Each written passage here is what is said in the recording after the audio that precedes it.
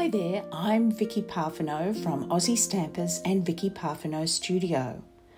I have been making some neurographical art and thoroughly enjoying this beautiful meditative art process. I've learned a thing or two from doing all these artworks and thought I might share some of these tips with you. There are some do's and don'ts when making neurographical art. It's based on a neurographical line, and here are some clear examples of lines that are not neurographic lines. They're more like doodles. The top one has loops, it does not travel from one edge of the paper to the other. The bottom one, the same thing, it does not connect from one edge to the other, and it has a repetitive pattern.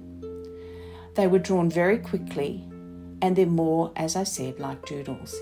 Here is an actual neurographic line. I drew this with my non dominant hand. I settled with my both feet on the floor, breathed deeply, and began to slowly, in a meditative fashion, draw gently from side to side, and I worked slowly. You can see it travels from one edge of the paper to the other.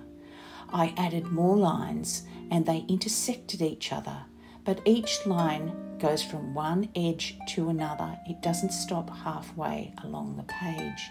I added some thinner lines with a fine tip permanent marker to create some interest as well.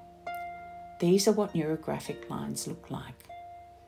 When you're making your project, use a really good substrate. A substrate is the material that you work on. I love these field watercolour journals by Handbook. It's made of very good quality acid free paper. I also like to use good art materials. I have a Winsor & Newton professional watercolour field box that I used for this process. But if you don't have expensive materials, you can still make this art using printer paper, some Sharpies, and some colour pencils. These are the supplies that I used. You can see I have a circles template there that I added to my work after I had finished drawing the lines. I used this to draw five circles of different sizes onto my work. You can see the bottom circle is incomplete because it goes off the page. That is perfectly okay because your eye will read that as a circle anyway. I bound the edges of my page with some painter's tape a tip that I have for you with this is to, to take off some of the tack of the painter's tape on your clothes first and do not remove it until your work is absolutely dry. The colour scheme I used for this was alizarin crimson, Winsor yellow, and burnt sienna. You can see those colours sitting there on my palette. I kept to a limited colour palette and a soothing colour palette as well. But you could do these in bright colours, whatever colours speak to you at the time are perfect.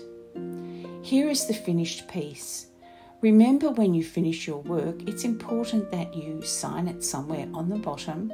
I've just put my initials and the year so that I will remember when this was created. I love how the watercolours dried to have lovely soft effects, and you can clearly see those five circles sitting on top of the patterns.